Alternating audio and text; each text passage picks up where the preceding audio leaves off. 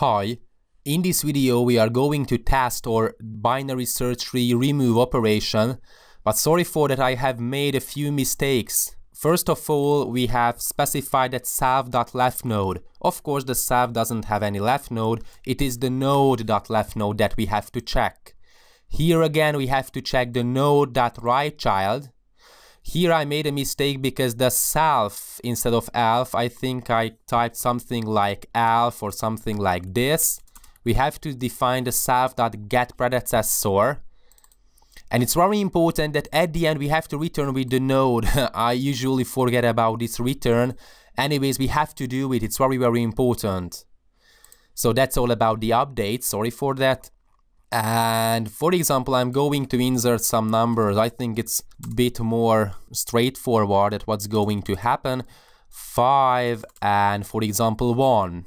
If we would like to get rid of binary search tree dot remove, for example 5, then we are going to remove an item with a single left child. So basically, with a single left child, it's going to be printed out. Let's see whether it's working fine or not. As you can see, we have managed to get rid of 5 and 1, 10 and 13 is going to be the numerical ordering and removing a node with a single left child.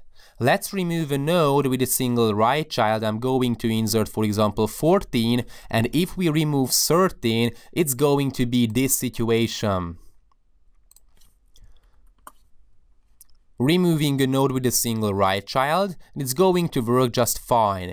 What if we would like to get rid of the root node?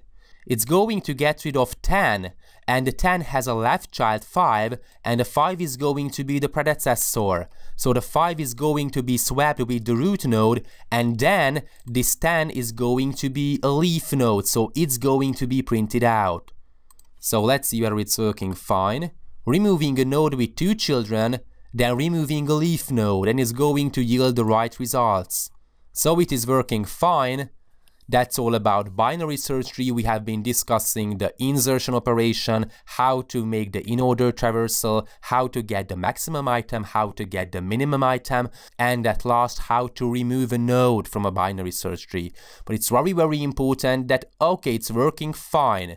But the problem with binary search tree that it can get unbalanced. And if it's unbalanced, then this logarithmic time complexity is not going to be valid because if it is a balanced tree, then the remove node operation will have the logarithmic time complexity, the get mean value operation is going to have the logarithmic time complexity, then the get maximum method is going to have the logarithmic time complexity. Of course, the in-order traversal is going to have the linear time complexity because we have to iterate through all the nodes. So we have to consider every node on a one by one basis is not going to be better than ortho n, but this is how it works, so it's not a problem. If we would like to consider every item, of course it's going to take ortho n linear time complexity.